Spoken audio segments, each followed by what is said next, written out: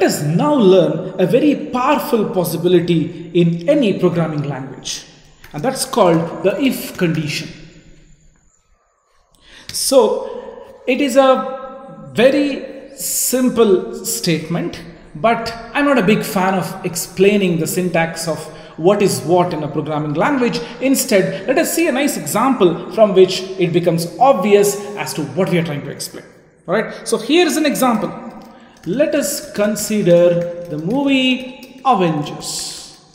Alright, this is a 13 plus movie, which means only people who are 13 and above can watch it. Okay, the rating of the movie it's called PG-13. It stands for parental guidance, and one should be 13 plus years old. All right. So uh, let us write a small piece of code which checks this. All right. Just to make it fun, I am um, trying to use this example. Although this doesn't uh, um, appear like something that we'll be doing in real life, why would you use a Python piece of code to check if someone's 13 plus or not? This is just to add some fun to the example. Alright, so what are we trying to do? It, it will be obvious in a while. I will say print please enter your date of birth. As and always, we'll take birth year is equal to input. Right, we have discussed this. In fact, you can combine these two things onto a single line of code, but I prefer writing it like this. Alright, so uh, it's easy on my mind. Okay, so you will enter the your date of birth and then I'll say current year. What's the current year? It's 2021 i'm not so sure in which year you're watching my video but this video was recorded in 2021 so i'll put current year as 2021 and then in fact there is also ways in which you can actually put the current year as of that day. All right when the program is executed. But like that's a little um, i mean so off route so we'll not take that uh, road as of now. Let us go ahead and say age is equal to the obvious current year minus the birth year. Right? And then observe if age is less than 13, then see as I press enter, the cursor comes a little away from the beginning. You see?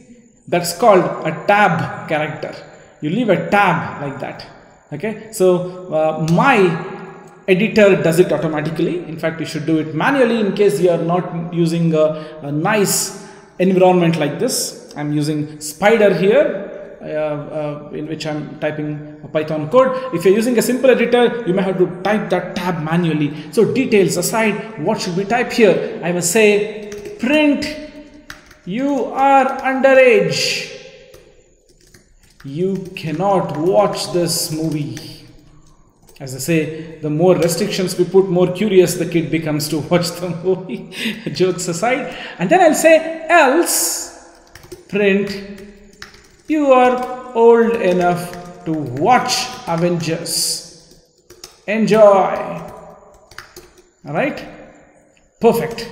So what exactly happens here? I'm executing it and it says enter your date of birth assume I am 2010 born, which I am not, by the way, I'm 2010 born. It says it calculates, it computes that your age is indeed uh, less than 13 because it's 2010. 2020 minus 2010 age happens to be 11 here and 11 is less than 13 and it comes inside and says hey you are underage you cannot watch this movie all right which which is precisely what it does here right Okay, let me re-execute this and try to see if I type my age greater than 13, will it let me watch the movie?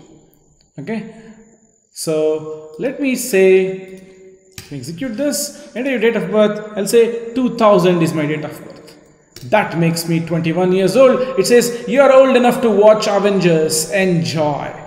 So you clearly understand what exactly happened. In fact, there is no much of, uh, um, I mean, there's no details here per se, right? I clearly say it's very sort of English like a statement. I say if age is less than 13, then do this. Else, else means what? If age is not less than 13, then whatever is inside this else, you will do this. Right? And then please note, as you come out of this and then say print have a nice time, and execute this, enter your date of birth, I say 1990. It says you're old enough to watch Avengers, enjoy, have a nice time. Okay, if I again execute this and I say 2012, I become a nine year old kid. It says you are underage, you cannot watch this movie. It again says have a nice time. Have a nice time is said here too, which means irrespective of whether this line gets executed or this line gets executed, this part is definitely getting executed. Right? So if something is true, then do this. Else means if that's not true, then do this. In fact, what you can do is you can test and see what if you type another line here print wait until you are old enough to watch this movie you can state this you're old enough to watch avengers enjoy don't forget to watch the sequels and prequels. Okay, so what, what does this do? This will obviously, let me take this to the next line just so that it looks nice. So this will execute both these statements if the age is less than 13, else it will execute both these statements. Okay, uh, that's my guess. Let's see what it does. So enter your date of birth. Let me reset this.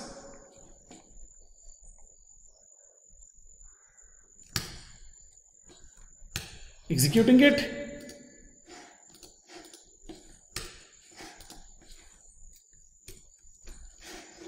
Let me reset it once again. I'm executing this. It says please enter your date of birth. When I say 2015, it says you're underage, you cannot watch this movie. Wait until you're old enough to watch this movie. I'm a little crazy about punctuation, so let me be perfect here. So if I say, if I say my date of birth is 1960, it says you're old enough to watch Avengers, enjoy. Don't forget to watch the sequels and prequels. Have a nice time. Good. So do you see what's happening? This have a nice time is coming in both the places. That's because it's outside the if loop but then this gets executed only if your age is less than 13 and this gets executed only if your age is not less than 13 which means your age is 13 and above at least 13 or you're 14 15 16 and, and more right anyways this is best not explained uh, in detail in fact you will get to know more of it as we progress we'll be using as i said if statement is used in almost every piece of code that I have known. Okay, 99% of the code that you write will, will somewhere use the if condition. Alright, so with practice, you can achieve perfection of how this if statement works. Alright, so with this, let's end this lecture and let me also try to tell you that you can in fact write if statement within another if statement. Okay, all those details will be covered in the forthcoming lectures. Thank you.